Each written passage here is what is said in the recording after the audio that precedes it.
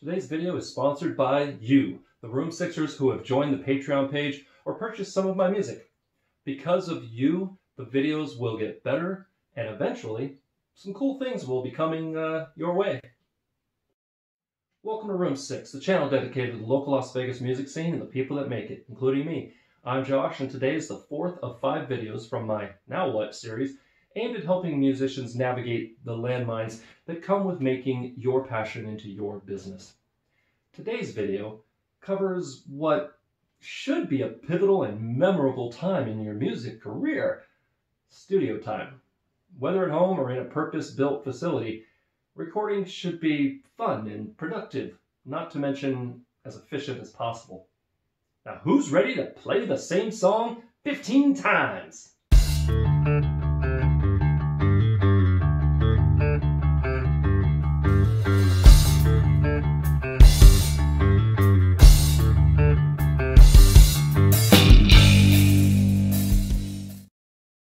If you're enjoying the content Room 6 is putting up, please make sure you subscribe down there and hit the bell so you don't miss an episode. While you're at it, feel free to like and share.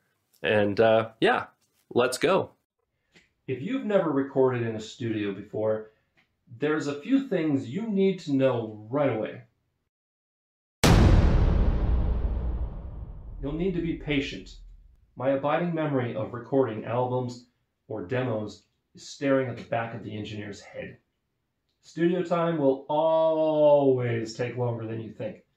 Plan accordingly and be prepared to wait for your turn a while. Be ready to go. Unless you have a professional home studio of your own, you're probably shelling out decent money for this studio time. Don't waste it. When the time comes for your tracking, play clean and play as consistently as possible. This will help out tremendously in the final edit. You're not live.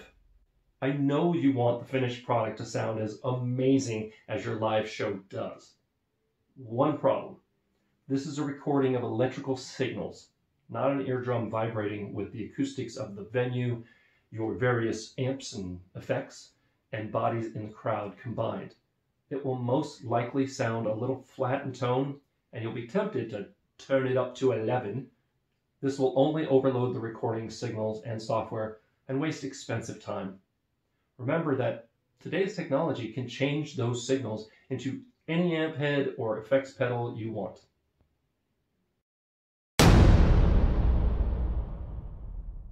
Be flexible.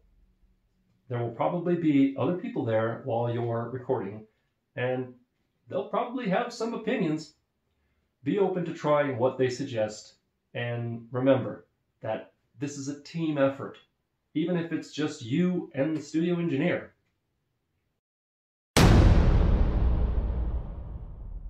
Have some fun. You can always tell when a band had productive fun while making an album. Things sound tighter yet looser, if that makes any sense. And you might even hear some happy accidents that snuck in the final mix. Ultimately, going in the studio should be worth the time and money you spend on it. Proper preparation will make sure it is. Thanks for watching. I hope you enjoyed and that it was informative.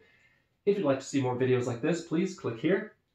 If you'd like to subscribe so you know when another video comes up, please click down here and don't forget to ring the bell so you'll be notified. Remember to be amazing, stay safe, and we'll see you next time in room 6.